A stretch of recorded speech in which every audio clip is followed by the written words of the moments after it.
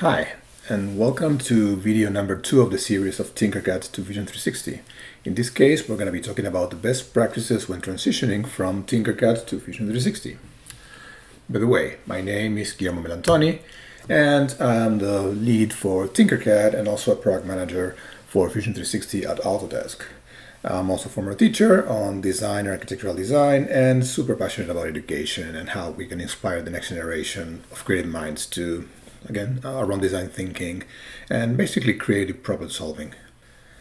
In this particular case, we'll cover uh, a series of, of best practices when sending information a model from Tinkercad into Fusion 360. We're going to talk a little bit about muscle memory and what role does it play when we work on both applications and how to use some of the features in Fusion 360 that can be very, very um, convenient when coming from Tinkercad, like the timeline, like overall customization of the UI, um, some best practices around how to work with components and bodies, and how to understand when to use solids or meshes. So let's get started. Let's go over some best practices for starting a design in Tinkercad and turning it into native Fusion 360 geometry.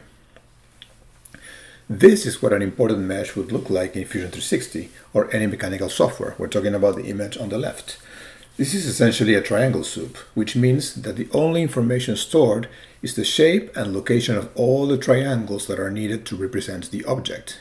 So you can see there are no curves, it's just a bunch of very small facets, planar facets, that, that give the illusion of a curve.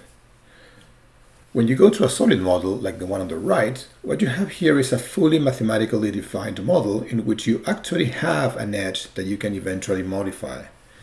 On the mesh, you cannot edit this edge because it's not actually a real edge. It's a bunch of little facets whose edges or vertices converge into something that looks like an edge. It's unusable for mechanical design without major reverse engineering, although it might be okay for rendering. Let's go over some best practices for moving from Tinkercad to Fusion 360, starting with muscle memory. Let me give you an example of why this is critical.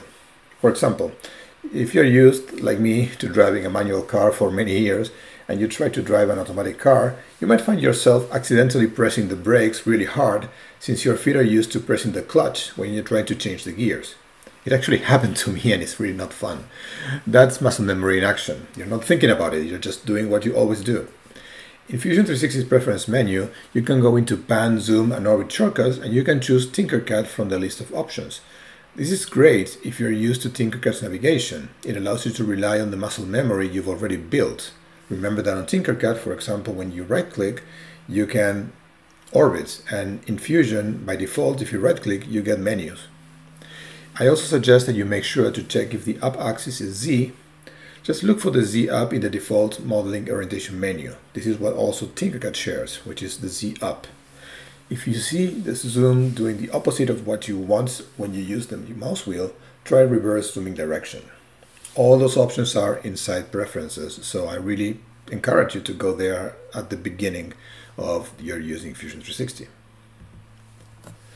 Here's another muscle memory related best practice. When you click on something in Tinkercad, you click on the object, not the face or an edge. We actually on Tinkercad don't even think that much about the faces or edges of objects. In Fusion 360, there's a way to do this under selection priority. Choose Select Body Priority, which lets you click on bodies first. Then, if you want to fillet or chamfer or do an operation that requires edges or faces, Fusion 360 is smart enough to look for those edges or faces you need. This can save you a lot of time and prevent a lot of frustration when you maybe don't realize exactly what you are selecting. Another best practice related to muscle memory is to customize the user interface and expose familiar commands for the main UI. For example, box, cylinder, mirror, things you can see on Tinkercad on the shape panel or on the toolbars. The only thing you need to do is to go into the drop-down menu under every category like create or modify, hover on the far right of any command and click on the three points to get to options. From this option, select Pin to Toolbar which will expose these commands in the main UI. You can do something similar with the keyboard shortcuts. If you're used to using shortcuts in Tinkercad and, and you're using something like mirror or grouping, well, you can do the same here. This creates a similar environment to Tinkercad and lets you design with more confidence and also less disruption to your muscle memory. Another tip is using the history from Fusion 360. When you send something to Fusion 360 from Tinkercad, the history would be off by default. That means that if you don't know what we're talking about, you might never use it and you're missing on a lot. So the first thing you have to do is on the object browser, uh, you click on Capture Design History. And this is like a super undo. If you enable the history on the timeline, you can go back to something you did a long time ago and make a change and the design will adjust according to that change. So remember, capture design history at the very bottom of on the on the on the object browser. My fifth best practice for moving into Fusion 360 is to use the help available in the learning panel. It's an interactive feature that gives you information when you click on a command. It shows you what the command does, which is very convenient, especially when you're getting started. Next, we'll talk a little bit about how to create components from bodies. When you move a file from Tinkercad to Fusion 360, each object or group of objects will become a body. Sometimes you just want to put things together in one new construct called component that moves and operates independently. Here I created four components. If I go to assemblies or animations, I can operate without having to think about now I need to select all these bodies to do something. It's not only convenient, it's necessary. Some things just won't work without components. It's also important, as we discussed at the beginning, to know when to use solids or meshes. Basically, some things will only work with solids. For example, parametric modeling or design driven by variables, creating drawings or managing paths for animations. These only work with solid models. That's one of the reasons why you'd want to use Send to Fusion as opposed to exporting an STL file.